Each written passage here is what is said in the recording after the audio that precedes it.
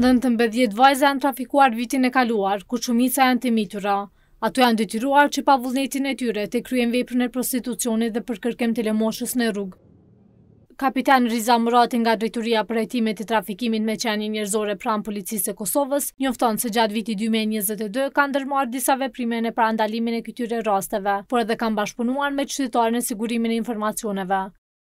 Si raste total që ne që kemi dorëzuar kallëzime penale për rastet e trafikimit me njerëz janë gjashtëmbëdhjetë raste, domethënë që është shkuar në prokurori, ndaj njëzet e tetë personave të dyshimtë që është ngrit kallëzim penal për veprën penale të trafikimit me njerëz, ndërsa tetëmbëdhjetë persona kanë qenë persona të cilët kanë marrë shërbime seksuale nga viktimat e trafikimit. Në total, si raste të përgjithshme që ne kemi trajtuar janë njëqind e tridhjetë e katër raste, domethënë që ndërlidhen me trafikim dhe vepra që ndërlidhen me me trafikim, domethënë që folëm më herët, mundësim prostitucion, ofrimi lokale për prostitucion, keqtrajtim, braktisje e fëmijës si një kategori tjetër, fëmijë që janë situatë rruge, ku prindërit ose persona që ushtrojnë autoritet prindëror, ata i detyrojnë të dalin dhe të kërkojnë lëmoshë apo të kryejnë punë të cilat nuk janë përshtatshme për moshën e tyre.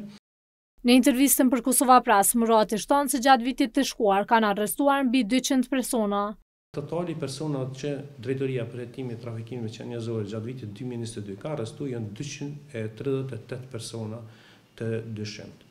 Domethënë këto janë ato sa i përket aspektit të hetimeve të veprave penale, krahas kësaj ne në bazë dhe planit strategjik, Strategjia Nacionale kundër Trafikimit me Qenie Njerëzore dhe planit të brendshëm të Drejtorisë tonë, kemi ndërmarrë edhe veprime në aspektin e parandalimit, në aspektin e mbrojtjes së viktimave të trafikimit dhe në atë të bashkëpunimit ndërkombëtar.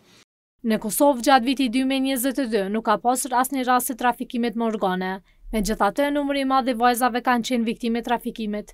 Më të cenueshme më të prekura janë komunat ato të cilat kanë një popullatë më të madhe, domethënë në këtë rast Prishtina, po të mos përjashtu edhe disa zona tjera që kemi Fushë Kosovën, e kemi edhe Ferizajn, Mitrovicën, pavarësisht cilat Prizrenin, por jo kryesisht, Prishtina është ajo që dominon me më së shumti raste të trafikimit me njerëz. Sa i përket gjinisë, kryesisht ose nëntëdhjetë për qind janë gjinisë femërore, vajzat e reja dhe për shkak të formës së shfrytëzimit. Forma e shfrytëzimit është ajo e detyrimit në prostitucion, duke mos përjashtuar disa raste të vogla që kemi pas të bëjmë me kërkim lëmoshë apo punë të detyrueme, Do të thotë që janë detyru nga persona të ndryshëm për të kërku lëmoshë dhe për të kry punë. Në mesin e viktimave të trafikimit Policia e Kosovës ka identifikuar dy nga rajoni.